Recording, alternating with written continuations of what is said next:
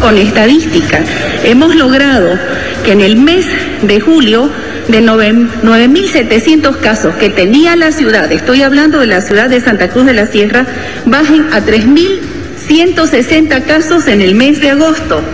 1.267 en septiembre y así sucesivamente. Lo hemos pasado esto en limpio para conocimiento de la ciudad. Pero la ciudadanía bajó la guardia y dejó de usar el barbijo. Hoy queremos que reafirmemos este compromiso de cuidarnos que es de todos. A los cruceños que hoy me escuchan, a los vecinos y vecinas, queremos pedirles respetar las normas que se dicten para no tener que encerrarnos nuevamente como sugiere hoy el COE departamental. Sería algo totalmente imposible encerrarnos 21 días y no lo vamos a hacer, pero sí vamos a medir con medidas que puedan la gente seguir trabajando, que pueda seguir marchando la economía, pero sobre todo que cuidemos la salud de todos.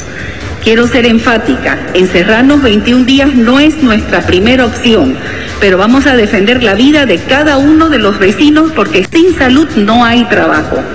Hoy las exigencias apuntan para otro lado. Es momento, y lo vuelvo a repetir, que el gobierno nacional tenga una fecha clara para la llegada de las vacunas al país y que piense en la ciudad capital de Santa Cruz de la Sierra, que concentra la quinta parte de la población boliviana. Ya han empezado a vacunar en países cercanos y no podemos quedarnos atrás en la incertidumbre y defensión. Exigimos vacunas, que es la manera definitiva para salir de esta pesadilla. Nosotros haremos todo para frenar el contagio mientras las vacunas llegan, pero exigimos que no pase de febrero cuando comencemos a vacunar en nuestra ciudad y empecemos por los que corren más riesgo, las personas de más de 65 años y con enfermedades bases. ¿Cuál es el plan que estoy proponiendo y hemos propuesto y vamos a proponer a la ciudad? Hemos dispuesto 40.000 pruebas rápidas para detectar casos de manera temprana y aislarlos. Pedimos al CEDES la información sobre los casos positivos y contactos para aislar y medicar. Tenemos lista toda nuestra capacidad de camas hospitalarias del primer y segundo nivel de salud y tenemos los médicos contratados para atenderlos nos quedamos de brazos cruzados. Hace más de tres días el gobierno municipal volvió a apostar por la salud y hemos contratado más de 3.000 médicos con certidumbre laboral hasta el 31 de diciembre del 2021. Si hay que aumentar más camas, lo haremos. Seguramente faltarán equipamientos, pero vamos a estar atentos a todo lo que falte para fortalecer la salud y cuidar la salud de nuestra población. Haremos los estudios de cero vigilancia con las 2.000 muestras esta semana para estudiar el alcance del COVID en la ciudad, pero sobre todo en los sectores, en los municipios donde hay mayor cantidad de gente con COVID para atacarlo, para combatirlo, para llevar medicinas y para atender a la población. Vamos a decretar hemos autorizado la compra para medicar a más de 400 mil vecinos y vecinas de la ciudad de Santa Cruz este fin de semana. Saldremos un ejército a las calles. Seremos más de 7 mil médicos, voluntarios, universidades, funcionarios.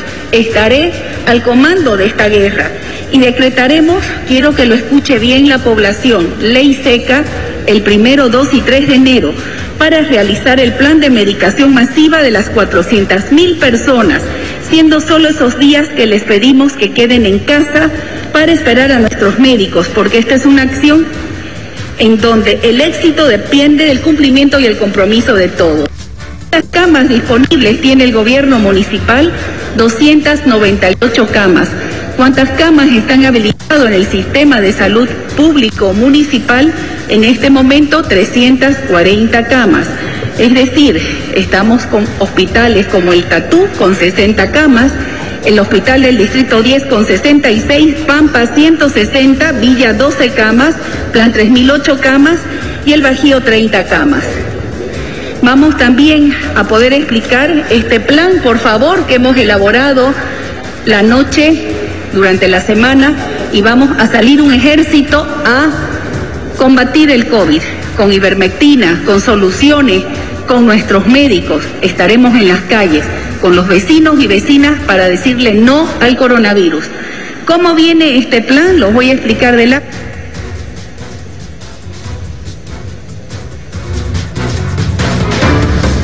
Ahí estábamos escuchando y estamos viendo, ¿no es cierto?, a la alcaldesa explicando en base a que se han tomado las diferentes medidas y también acerca del plan que tiene en diferentes eh, barrios, en diferentes zonas de la ciudad.